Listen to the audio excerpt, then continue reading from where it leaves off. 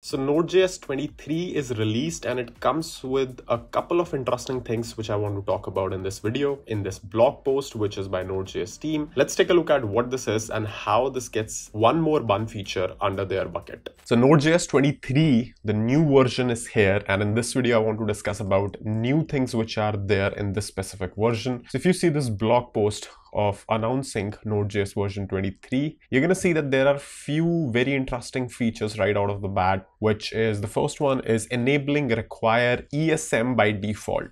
Now, if you don't know what this is, this is one of the biggest pain points that Bun solved right? So what happens is, if I give you an example, for example, consider this, where you have an index.ts file like this, and you have a hello.ts file like this, right? So when you have something like this, where you can see that you are importing something and then you are exporting the same function, obviously you know like what to expect. When you run this file, you will just get hello world. However, if you have something like this, where you want to mix and match import and require, now the reason you might want to do that is because some of the modules which you created are in CommonJS format, some of them are in ESM format. So if you have used JavaScript for like, you know, sometime you know that this is a very common error, error where you try to use, when you try to use require inside of ES modules, it doesn't work, right? So just a quick example for this specific example. So in this specific Stack Overflow question, you can see that the package in questioning is the node fetch package, which apparently just stop doesn't working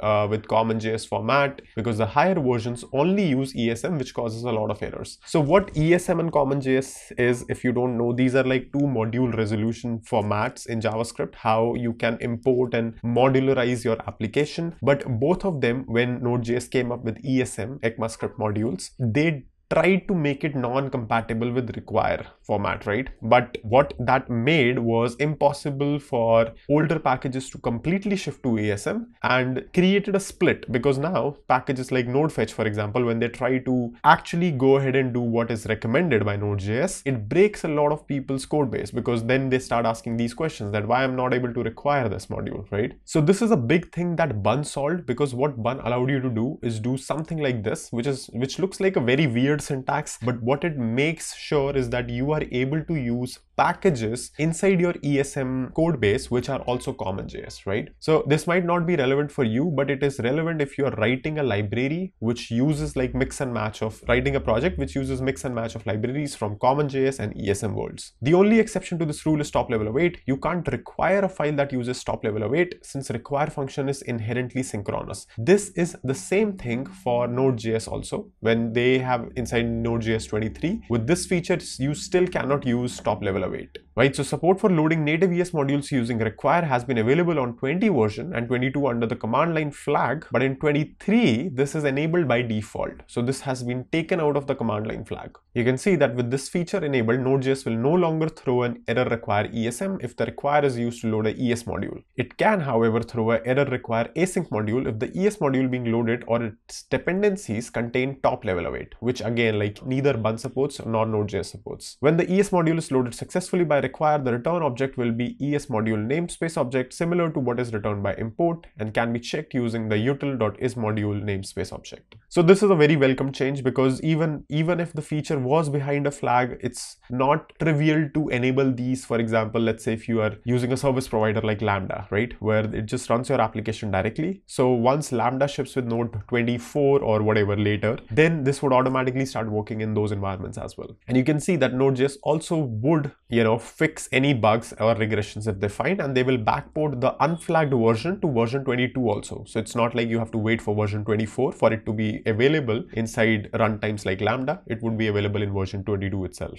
Another change which is obviously welcome is that node dash dash run is now stable. So you see that node earlier if you want to run commands like this, you have to do like npm test or yarn test or pnpm test or whatever. Now, Node is also shipping with its own ability to run scripts inside package.json, which is with the dash dash flag, right? So now instead of using npm run something or whatever, you can just use Node itself. So it just saves you one little headache that you need to remember the package which you're using. I mean, for the most part, you would remember it anyway, but still, like most package managers also support doing that. So, you know, Bun also supports it. So I'm assuming like Node added it for that. This, by the way, is you can see that it's introduced, the stabilizing is introduced in the version 23, but it is backported to version 22 as well. So how Node.js works is that there are certain LTS versions, right, which get these supports of backporting and bringing stable features to their own, you know, version as well. So you can see now that node dash dash run is, although it's the stable version is marked in version 23, you can still access it in version 22, right? So that's pretty much it for this release. I think these were the only two major things. And out of that also like this one is a bigger thing where you are able to